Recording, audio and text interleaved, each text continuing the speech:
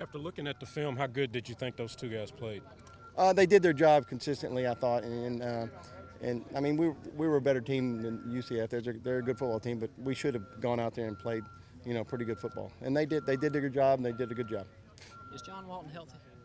Uh, he's he's got a banged up knee. He's got a hurt shoulder. He's playing. it was a back he's playing. yeah, too. yeah. I mean, he's you know he's a very physical kid. Right. Uh, he's a very physical player, and he comes out here every day and practices physical. Uh, so he, he's uh, he's been kind of up and down, but he's never. I don't think he's ever been quite 100% this whole year. He's just been banged up. What do Bryson Allen Williams prospects for playing time look like now that you're doing TJ in the middle and, and Skai outside, and that's working well so far? Well, you know, anytime you're a backup, you're one play away from, you know, having get get in there. So every day they got to come out and practice and get ready like they're going to be the, the starter.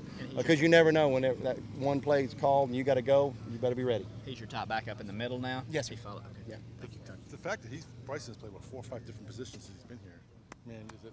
And he's still a young linebacker. You know, Yeah, last year yeah. he played DN, so he's still Yeah. young and growing. But he, I mean, he's got a great attitude. He's highly intelligent. He's a smart kid. He and he'll he'll, he'll find his way. Would you prefer to like, keep to, to, put a guy in one position and let him stay there, as opposed to well, Bryson's gone from from from Well, when Bob you move- to when you- defensive end, when you- linebacker, to middle linebacker? Well, you're trying to get your best 11 guys on the field. Yeah. And if you move a guy, you got to have a backup someplace.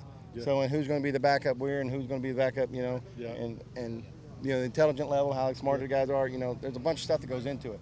Uh, it's not just, just, hey, throw him out there and let him go. It's, you know, it's like a painter all of, all of a sudden you tell him a painter to go work on a car. Yeah. You know, it's, it's just, it's not quite the same. So the more you keep them consistent, the better off.